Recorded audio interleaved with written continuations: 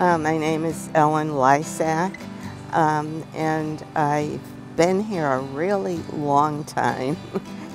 I came to St. Francis as a 17 year old student, and um, that was in 1954.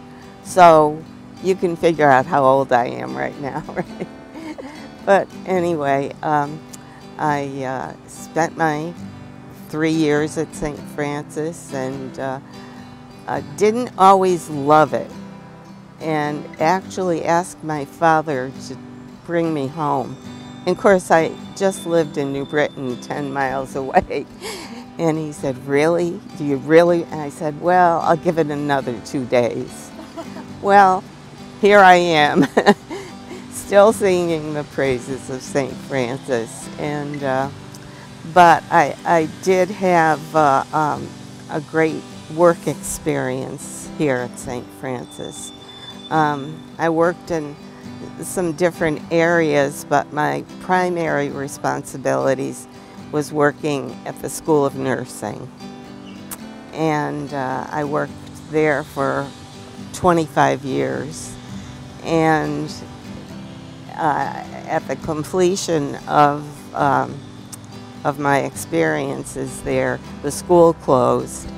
And I was the assistant to the director at that time. So those were the very saddest days of my life.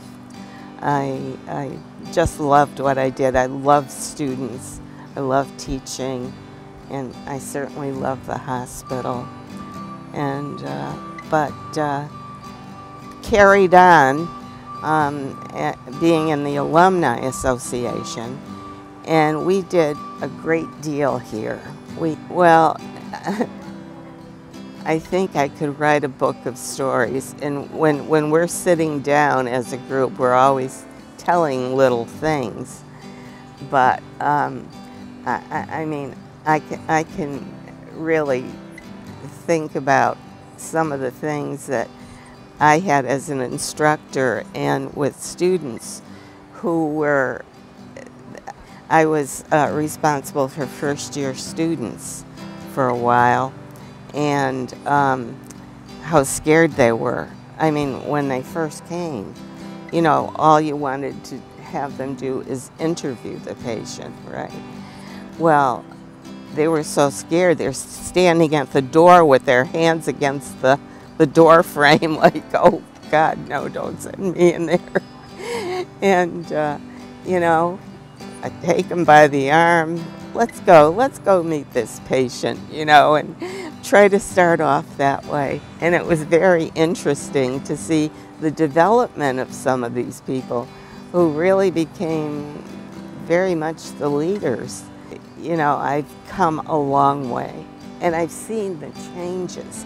I mean, just the buildings, just uh, when you drive by, I mean, we didn't have all this. We had one building, we had the, uh, the Sisters of St. Joseph lived behind the building, and there was a lovely little grotto there.